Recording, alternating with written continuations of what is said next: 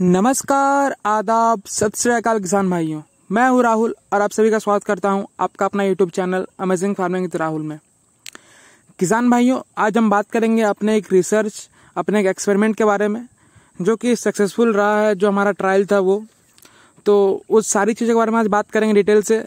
पर उससे पहले आपसे एक अनुरोध है कि अगर आप हमारे चैनल पर नए हैं तो चैनल को सब्सक्राइब कर दीजिए और वीडियो अच्छा लग रहा हो तो वीडियो को लाइक कर दीजिएगा। अगर अच्छा नहीं लग रहा हो तो वीडियो को डिसलाइक कर दीजिएगा। तो चलिए किसान भाइयों, इस वीडियो को देरी न करते हुए इस वीडियो को शुरू करते हैं।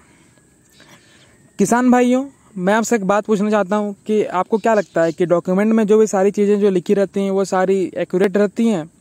या वो आप प्रैक्टिकल के बाद, करने के बाद ही आप विश्वास रखते हैं?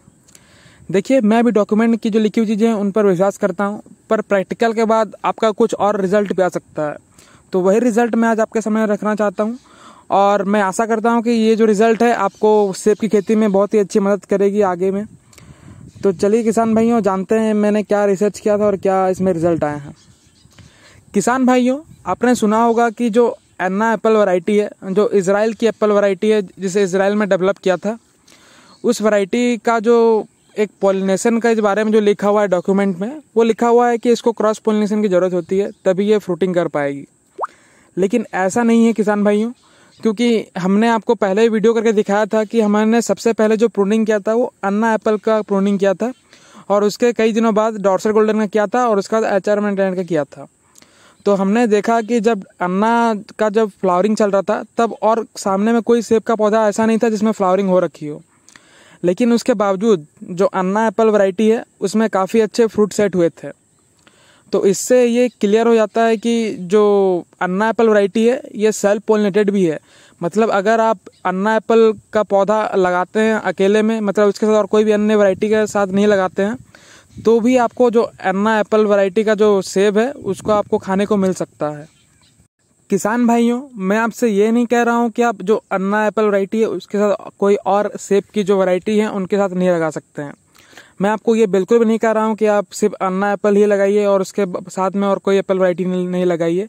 मेरा ये कहना नहीं है, लेकिन मेरा ये आपको सच बताना था कि जो गलत चीज़ें जो निकल के आ रही थी, जो बहुत सारे लोग बोलते भी हैं कि अन्ना एप्पल एक जो है क्रॉस पोलिनेटिव वैरायटी है। मतलब उसको फ्रूटिंग करने के लिए कोई और वैरायटी साथ में लगाना होगा, जो कि अन्ना एप्पल के साथ ही फ्लावरिंग करता हो। वैसी वैरायटी आपको लगानी होगी उसके साथ में, तभी आपको जो है अन्ना एप्पल में आपको पोलिनेशन हो पाएगी और उसमें अच्छी फ्रूट सेटिंग हो पाएगी।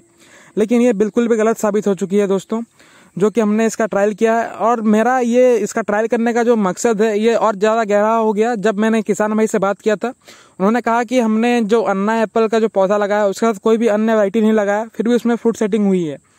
तो मुझे लगा कि डॉक्यूमेंट में तब क्या सारी चीज़ें गलत लिखी हुई हैं क्या? तो लेकिन जब मैंने खुद ट्रायल किया तो वही रिज़ल्ट आया। तो अगर आप में से भी किसी का वैसे रिज़ल्ट आया होगा, किसी ने सिर्फ़ अन्ना वैरायटी लगाया होगा क्योंकि अन्ना वैरायटी बहुत लोग पसंद करते हैं क्योंकि उसका जो कलर है और जो मिठास है वो अच्छा खासा है। तो बहुत लोग चाहते हैं कि हम सिर्फ़ अन्ना वैरायटी लगाएँ तो ऐसे बहुत सारे किसान भाई हैं हमारे साथ जुड़े हुए हैं, जिन्होंने सिर्फ़ अन्ना वैरायटी को लगाया है। तो अगर आप हमारे इस वीडियो को देख रहे हैं तो आप भी कमेंट में बता सकते हैं कि आपने जो है सिर्फ़ अन्ना वैरायटी लगाई है, फिर भी उसमें फ्रूटिंग हुई है।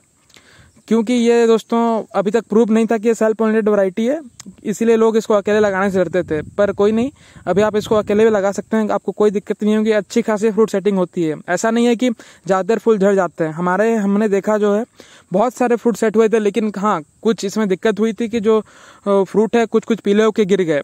उसका देखिए मेच्योरिटी का भी एक सवाल होता है, क्योंकि पौधा हमारा इतना मेच्योर नहीं है। लेकिन जितना मेच्योर है पौधा, उसके हिसाब से काफ़ी अच्छी फ्रूट सेटिंग हुई है और देखने को मिल भी रही है। अगर हम बात करें कि अन्ना एप्पल जो वैरायटी है, उसके साथ हम कौन कौन सी अन्य एप्पल की वैरायटी लगा सकते हैं? तो देखिए, इसका जो आंसर है, वो थोड़ा सा डिफरेंट हो सकता है। क्योंकि देखिए, जो अन्ना एप्पल जो वैरायटी है, ये थोड़ा सा जो है अर्ली फ्लावरिंग पर आता है ये। आपने नोटिस किया होगा कि अगर आप सेब की खेती कर रहे हो, Anna Dorset Golden Harima ninety nine Michael ठीक है? तो इन सबसे अर्ली फ्लावरिंग हो जाती है अन्ना में। जबकि ये देखा गया है कि जो डॉर्सेट गोल्डन का पौधा है, वो थोड़ा सा इसके बाद फ्लावरिंग पर आता है, ठीक है? आपने नोटिस किया होगा ज़रूर इस बात को। लेकिन हाँ इसको हम लोग साथ में फ्लावरिंग पर ला सकते हैं। उसका सिर्फ़ एकमात्र माध्यम है, वो है प्रूनिंग का। अगर आप प्रूनिंग दोनों का एक साथ या थोड़ा सा पहले डॉर्सर गोल्डन कर देते हैं, उसके थोड़ा सा देर बाद अन्ना करते हैं तो आपका जो है फ्लावरिंग लगभग अन्ना का और डॉर्सर गोल्डन का लगभग सेम समय पर हो सकती है। लेकिन इसको आपको सही समय पर प्रूनिंग करने पर ज़ोर देना पड़ेगा।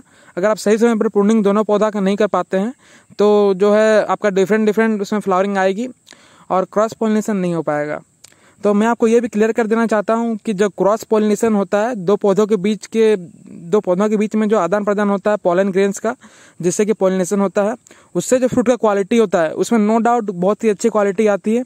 लेकिन हाँ ये भी है कि अगर आप सिर्फ़ अन्ना वरायटी को भी लगाते हैं तो उसमें भी फ्लावरिंग फ्रूटिंग होगी। उसमें कोई दिक्कत नहीं है पॉलिनेशन में पॉलिनेशन भी अच्छे से खासी हो जाती है। लेकिन हाँ अगर आप अन्य अन्य वैरायटी के साथ लगाते हैं तो इसमें बहुत ही अच्छी क्रॉस पॉलिनेशन होती है और इससे जो फ्रूट का क्वालिटी आता है, वो और भी इम्प्रूव होकर आता है। तो आप साथ में, अन्ना के साथ में और अलग वैरायटी को भी लगाएँ, उससे कोई दिक्कत नहीं है। आपको फ्रूट क्वालिटी अच्छी ही मिलेगी। तो किसान भाइयों, मैं आशा करता हूँ कि जो ये हमारा एक्सपेरिमेंट था, जो हमारा रिसर्च था, आपके काफ़ी काम का होगा, सेब की खेती में आपको काफ़ी ज़्यादा मदद करेगा।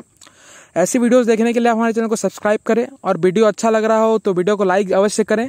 और मैं आपको ये भी कहना चाहता हूँ कि आप हमारे चैनल पर आएँगे तब दुखी नहीं होइएगा, कुछ ना कुछ सीख के ही जाइएगा। तो किसान भाइयों, मिलते हैं इसी के साथ अगली वीडियो के साथ। जय जवान, जय किसान, जय हिंद।